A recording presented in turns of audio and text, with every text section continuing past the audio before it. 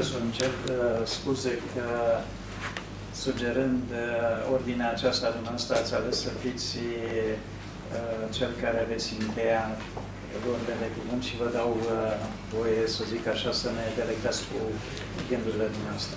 Mulțumesc foarte mult. Mulțumesc și eu uh, distinsului nostru coleg, prieten, uh, profesorul George Iene și, bineînțeles, vă mulțumim și dumneavoastră că sunteți în această seară, uh, număr mare și cu atât de mare putere sufletească, fiindcă se simte lucrul acesta în tensiunea sălii.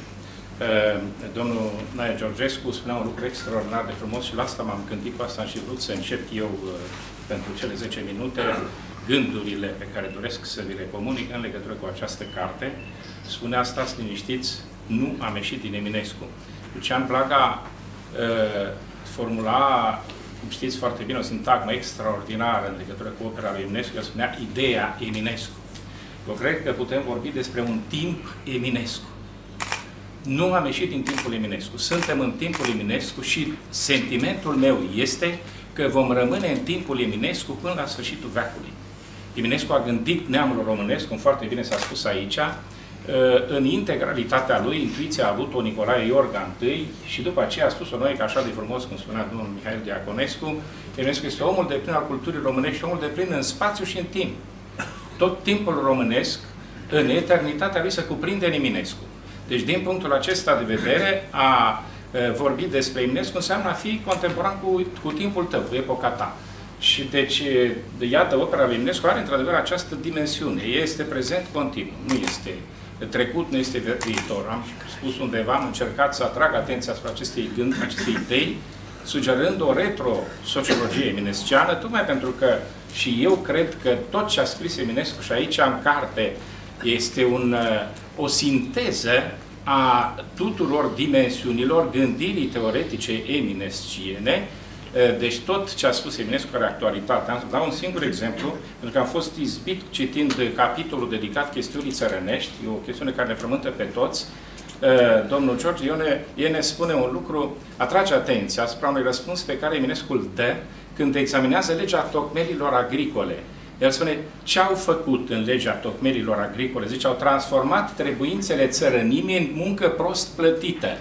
Dar ce a făcut legea 18 a fondului funciar? După 90, același lucru, cum știți foarte bine, adică l-a desproprietărit pe țăran. Că l-a păcălit cu lotul ăla de câte hectare, acolo 3 hectare, dar în schimb a confiscat echipamentul și l-a lăsat, cum s-a spune, cu una goală. Asta este o problemă. Vedeți, perenitatea chestiunii țărănești. Eminescu răspunde aceste chestiuni pentru epoca lui și pentru epoca noastră, pentru momentul acesta.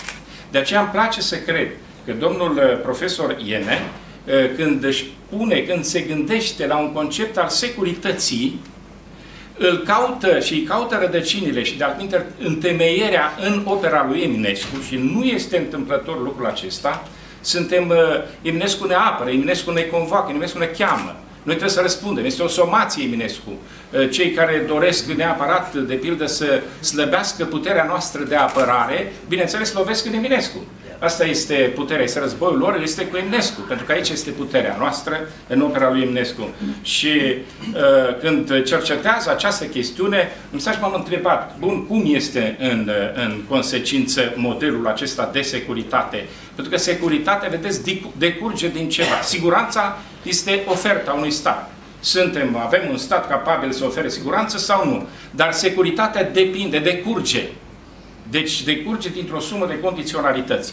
Și uh, domnul George ne, ne sugerează că în viziunea lui Eminescu, uh, securitatea decurge din trei, cel puțin, din trei factori, să, să le spunem așa. Și anume, pe de o parte, spune din capacitatea guvernanțelor, a elitelor, de a-și asuma provocările, chestiunile sau întrebările epocii. Și de aceea analizează și prezintă aceste întrebări sub termenul toimbian de chestiuni sau provocări. Știți foarte bine că după aceea termenul reapare la Iorga, chestiunea mărilor, chestiunea oceanelor și așa mai departe. La Eminescu este chestiunea dunăreană, chestiunea țărănească, chestiunea națională, chestiunea, uh, mă rog, uh, evreiască și așa mai departe. Sunt, este un mănunchi, un pachet de chestiuni la care elita guvernantă trebuie să răspundă. Și de calitatea răspunsului guvernanților la aceste chestiuni depinde securitatea. Dacă răspunsul este corect, este adecvat, avem securitate. Dacă nu, este insecuritate.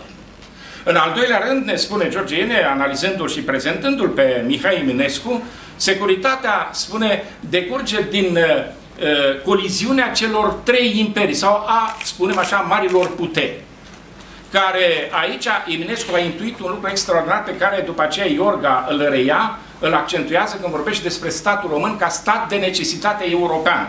Pentru că, spune Eminescu, este mai avantajos pentru marile puteri ca această parte, acest, această țară, spațiul acesta, să nu fie atârnat, să fie neatârnat. Adică să fie un fel de no man's land, să nu aparțină niciunei puteri. Să fie, altminte spus, un loc care desparte puterile și mai departe. De aici, spune Iorga, s-a născut statul de necesitate. Deci e un stat de necesitate geopolitică, nu pentru că neapărat uh, am vrea noi să avem stat. Este o necesitate europeană. Eminescu a formulat acest gând, această idee și spune foarte clar că de modul în care uh, aceste puteri se confruntă sau se armonizează depinde sau de, din acest mod decurge securitatea iar, spune Eminescu, contează enorm ca noi să știm să lucrăm cu acești factori. Adică e vorba despre, din nou, elitele guvernante ale, ale poporului român. Uh, și, în fine, uh, se subînțelege, iată, că al treilea factor este chiar calitatea guvernanților, calitatea elitelor. Cum sunt și cum trebuie să fie. Și Eminescu aici introduce teoria păturii superpuse, și el spune foarte explicat într-o polemică pe care o face cu socialismul fraților Nădejde, pe care am prezentat-o în sincronism european și cultură critică românească eu însumi, și cineva a întors pe dos înțelesurile și interpretarea pe care am dat-o acolo, susținând că l-aș făcut pe Eminescu marxist, nu era nicio problemă, că nu există, uh, nu, să spunem așa, niciun uh, fel de, da, de, de, nu, dar, de opinie. dar nu e delict de opinie. S-ar fi făcut pe Ionescu Marxist, nicio problemă. Dar nu l-am făcut, am prezentat polemica lui cu socialismul fraților Nădejde, chestiune care este reluată, în, uh, este prezentată în cartea domnului Ene, uh, în accepțiunea lui Eminescu, uh, curentul acesta vine ca o expresie a unui curent anarhizant, nihilist din, din Europa spre răsărit și dezorganizează deci, vedeți, în, în, toate, în toate laturile acestea pe care cartea domnului George Iene le prezintă, se compune și se recompune un concept românesc de securitate, adică ceea ce, cum spunea Eminescu, ar fi necesar pentru ca, în fine, să funcționeze un stat de cultură la Dunărea de Jos. Ăsta este cuvântul uh, și, dacă vreți, imperativul geopolitic pe care îl gândește Eminescu pentru statul român. El era, era un etatist, el era un apărător al statului și al statalității. Statalitatea este axiomă în opera lui Eminescu. De aceea nici nu este, nu e agreat nici de la stânga, nici de la dreapta. Uh, și, bineînțeles, pentru organicismul său și așa mai departe.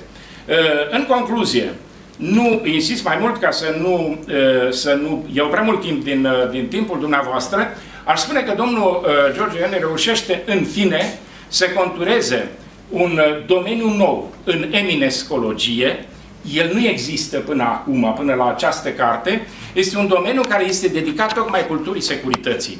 Eminescu este cel care a formulat, dacă vreți, înaintea școlii de la Copenhaga, teoria, doctrina securității societale, securitatea este în lăuntru societății, nu este în afară. Să nu ne imaginăm că noi, uh, cei care guvernăm popoarele, statele și mai departe, uh, facem ceva bani mai, mai grav. Noi, adică corporația intelectuală a statelor, putem uh, afecta, putem, cum s-ar spune, deveni factor de risc pentru securitatea statelor. Deci și Eminescu iarăși o spune atunci când face, de pildă, critica acelei prebea Scribax, adică a celor care sunt, eh, cum spunea el, eh, eh, negustori de vorbe și moara de cuvinte și care nu aduc niciun fel de surplus, nicio productivitate pentru statalitate, pentru naționalitate și așa mai departe în cultura română.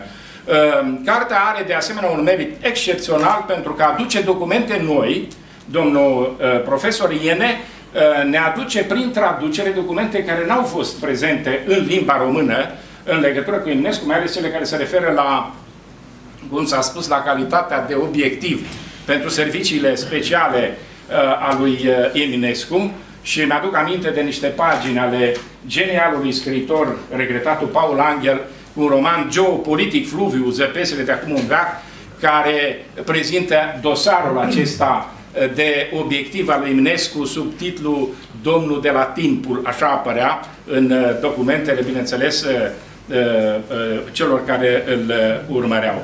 Urmare, avem de-a face cu o carte de valoare excepțională, cu o carte care acoperă un gol, deci care nu poate fi ocolită în bibliografia lui Eminescu și ca atare și sugestia mea este să cumpărați cartea dacă că nu are autorul atâția bani să dea tuturor cât i-ar fi sufletul, pentru că nu toți cei care se ar dori să dar puteți să, să o cumpărați, că nici nu e prea scumpă, cred, sper.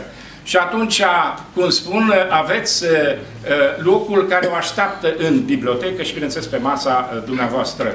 Eu n-am crezut că o pot citi atât de repede când mi-a dat Eu am fost în comisia de doctorat a domnului Iene dar uh, și când mi-a dat, am spus, bun, bun, las că am citit-o, am recitit-o pentru că mi-a plăcut, pentru că este o carte care se citește cu temperatură, deci cu tensiunea lecturii și nu e ușor să obții lucrul acesta când ai atracția, vraja, magia internetului care ne împovărează și ne uh, face pe toți uh, adicți, de, dependenți de, de, de așa ceva. Uh, Într-un cuvânt, și cu asta închei, uh, se verifică încă o dată calitatea de mare gânditor al lui Eminescu, care îi permita lui Petre Țuța să spună între Marea Nordului și Vladivostok, Eminescu în parte binecuvântării.